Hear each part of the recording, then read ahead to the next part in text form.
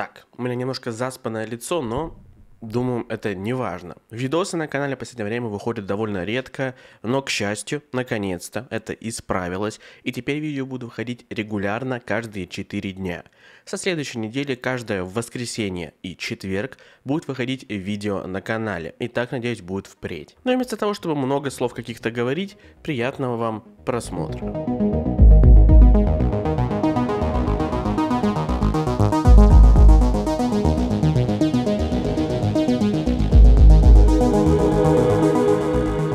Вот я уже готов начать видео, ну а ты готов ли его посмотреть? Лайк нажми, тогда точно готов. Ну и про подписочку не забудь, ведь у меня на канале очень много полезной информации, которая тебе поможет развиться на YouTube. Ну напиши в комментариях, сколько бы ты хотел набрать подписчиков на своем канале, да и зачем тебе вообще большая аудитория на YouTube. Напиши, а я почитаю и самые интересные истории и самые интересные комментарии вставлю в новое видео.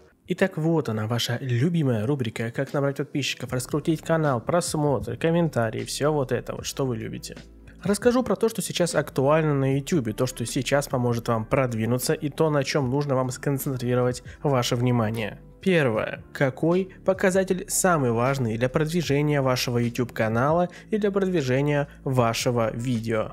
Раньше это могло быть количество лайков, количество комментариев, соотношение просмотров, но сейчас кое-что другое вошло в силу и уже как полгода год работает. Это удержание аудитории и процент этого удержания очень сильно влияет на рекомендацию вашего видео. Вы можете в аналитике вашего канала посмотреть, как много людей досматривают ваше видео до конца. Чем больше этот процент, тем круче ваше видео продвигается, тем больше новых людей его могут увидеть. Если у вас 10-минутное видео, видео, а из него смотрят только одну минуту, значит вы что-то делаете не так, и зачем рекомендовать такое видео новым зрителям, ну, не особо-то и понятно. Недавно я посмотрел интервью с зарубежным блогером, Мистер Бист. Я думаю, многие из вас знают его, поскольку у него сейчас один из самых больших каналов на YouTube. Он своего рода рекордсмен по просмотрам, по активности и по заработку на YouTube. Так вот, именно он сказал то, что именно удержание влияет на продвижение. Он проводил эксперименты и экспериментировал с этим делом.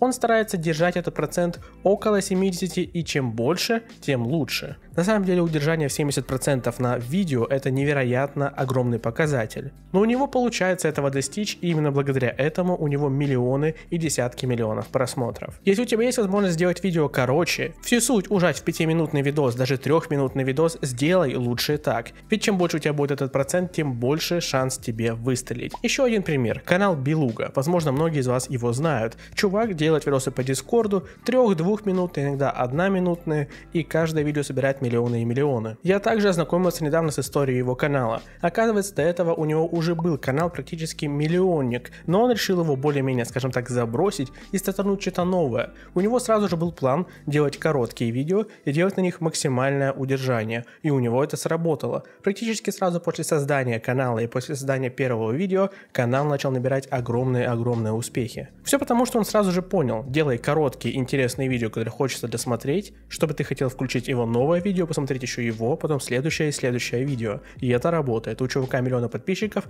буквально таки за пару месяцев. Второе это анализируй свою аудиторию. Понимай, какой у тебя зритель. Возможно, у вас зрители, скажем так, постарше, которые готовы смотреть 40-минутные видео полностью. Возможно, у вас молодая аудитория, которая нужен фастфуд. Быстро-быстро-быстро накидать контента, 10-минутного, грубо говоря, и все.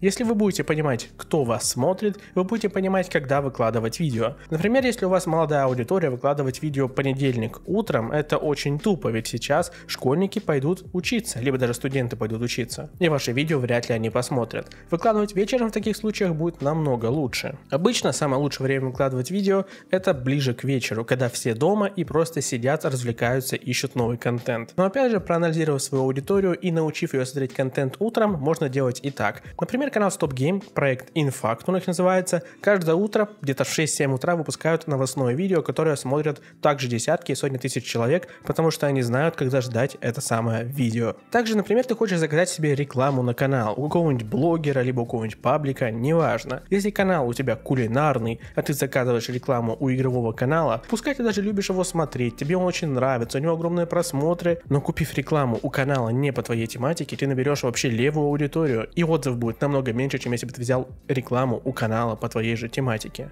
Или у паблика, неважно. Третье. Не покупай курсы по YouTube и всякое подобное. Я уже наслышан про быстрый старт, по-моему, это называется, и про другие подобные курсы, инфопродукты и так далее, где ты вкладываешь деньги и ничего взамен не получаешь. Практически вся информация обычно будет находиться в интернете. Если ты не знаешь, как назвать видео, поищи в интернете. Не знаешь, как назвать YouTube канал, как оптимизировать, как делать оформление, как делать какие-то вещи, все это можно найти на YouTube. На моем канале, даже на других любых каналах тоже это может быть. Гугли, ищи. Купив такие курсы, скорее всего, ты просто потратишь деньги впустую, потому что обычно там полная пустота. А иногда ты можешь и канал свой убить. Например, опять же, я слышал про быстрый старт, что там просто крутят видео в плейлистах по кругу и и это, честно скажу, ничего не дает. Да, удержание может быть и растет. Там еще огромное количество алгоритмов в YouTube играет роль, которые полностью ломаются, если таким образом все делать, как тебе говорят в этом курсе, инфопродукте,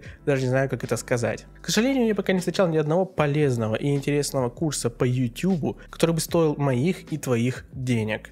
Не спорю, возможно, такие когда-то и появятся, и они будут. Да может они уже есть, просто мне как-то очень повезло на них не наткнуться, хотя, честно скажу, я искал. Обычно там очень посредственная информация, которую можно найти в интернете и так, бесплатно, не вложив ни копейки.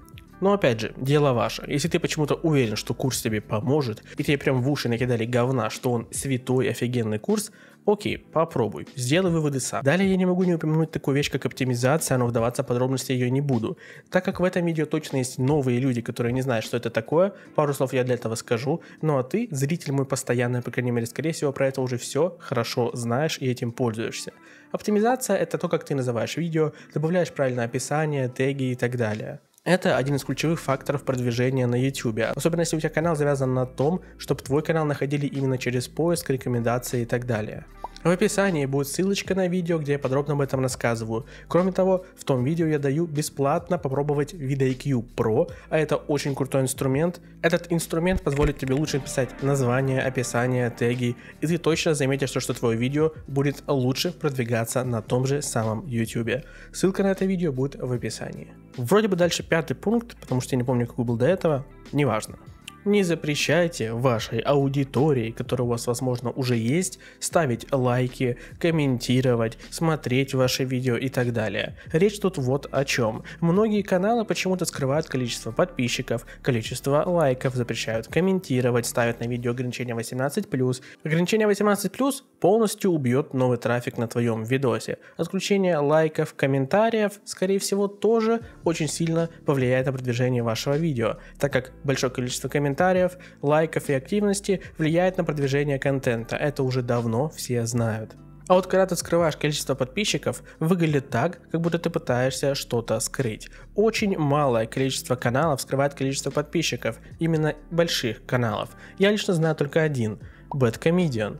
Все остальные, 99,9,9,9,9,9 и так далее процентов, показывают количество подписчиков, потому что человеку всегда приятнее быть частью какого-то сообщества. Всегда, всегда приятно понимать, что ты, например, тысячный подписчик, либо трехтысячный, либо пятитысячный подписчик, либо там миллионный подписчик. Когда ты знаешь аудиторию, которая смотрит человека, ты можешь себя с ней ассоциировать. Если же ты подписываешься просто на непонятно что, пустой канал, где нету лайков, комментариев, все скрыто, это очень сильно отторгает, и вряд ли твое видео будут досматривать. А может быть даже сразу же его выключат, потому что это выглядит очень и очень подозрительно. Следующее, шестое. На мой взгляд, тоже очень важное и интересное, то, о чем многие не задумываются. Делайте видео на темы неоднозначные. Те, где есть разделение людей на «за» и «против», или разделение людей на кто любит это или не любит. Например, что популярно и что вызывает у людей, скажем так, интерес не знаю,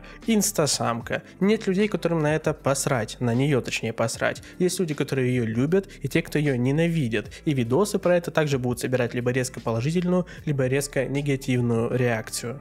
Ведь согласитесь, есть персонажи, которых вы не любите. Пускай это будет опять же та же самая инстасамка, но пару видео про нее-то вы точно глянете, потому что вам хочется посмотреть, как ее смешивают с говном и говорят, какая она плохая. Или наоборот, может в этом видео ее хвалят, и вы хотите зайти и написать, что это неправильное видео, фу, плохо. Ведь посмотрите, самые популярные каналы очень часто делают что-то неоднозначное. Моргенштерн делает какие-нибудь хайповые проекты, и люди опять же делятся на за и против. Это же самое банальное. PlayStation или Xbox. Люди опять же делятся на два лагеря. Это вечно. Это сейчас в ТикТоке популярно, типа смотрите, а ваш iPhone так может, и там огромное количество комментариев и негатива в плане мой iPhone такой хороший и так далее. Это вызывает дискуссию и реакцию, а вам важно именно большое количество реакций на ваш контент. Чем их больше, тем лучше. Даже если вам будут ставить дизлайки, негативить, это все равно пойдет вам в плюс, и вы будете набирать аудиторию. Со временем вы очень просто как щелчок пальцев сможете весь негатив превратить в позитив. Так делали огромное количество, опять же, блогеров.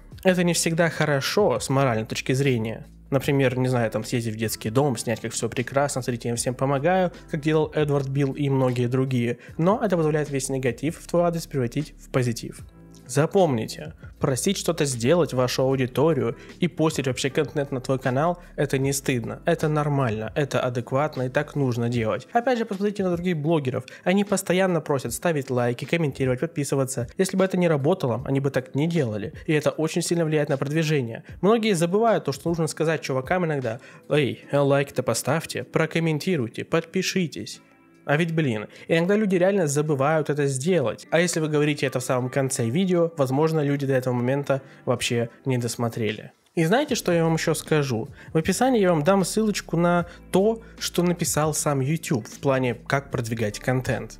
Как продвигать видео на YouTube? Ссылочка на вот этот пост от YouTube будет в описании. Там более-менее детально рассказаны некоторые вещи. Оформление. Я знаю, вы сейчас все подумали, блин, опять он про шапки, аватарки, превьюшки. Нет, точнее не только. Шапки, аватарки на канале, красивые превьюшки.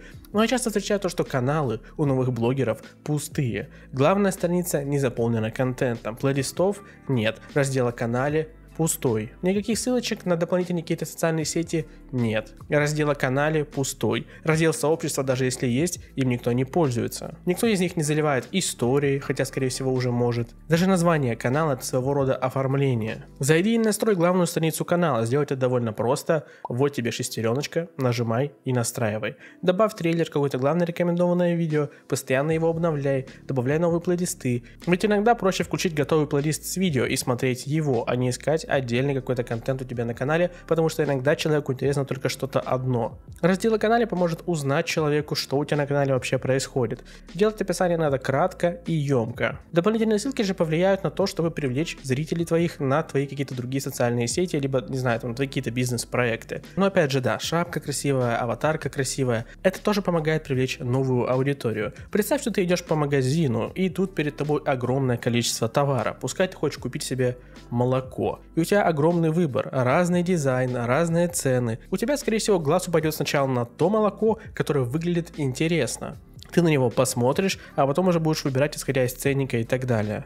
Так вот на YouTube то же самое. Сначала привлеки человека красивой упаковкой, красивой превьюшкой, красивой шапкой, аватаркой. У меня есть студия по оформлению ВКонтакте, ссылочка будет в описании. Мы делаем профессиональное оформление, шапки, аватарки, превьюшки, рисованное оформление, уникальное интро, рекламные видео и все, что вам только нужно в плане дизайна. Заходите, заказывайте, у нас сотни отзывов, все положительные, всем всегда все нравится. Кроме того, сейчас там проходят скидки, а скидки у нас очень и очень большая редкость. Так что именно сейчас будет лучшее время для заказа оформления.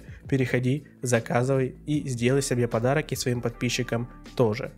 Поверь, на YouTube хоть и сложно, но можно пробиться. Не забудь поставить лайк, прокомментировать и рассказать о том, сколько у тебя подписчиков сейчас и сколько ты хочешь подписчиков на свой канал. Ну, конечно же, подписаться на канал. Ведь у меня все еще есть 7 миллион подписчиков, и я хочу его набрать. Также ссылочка на студию по дизайну будет в описании. Адьос.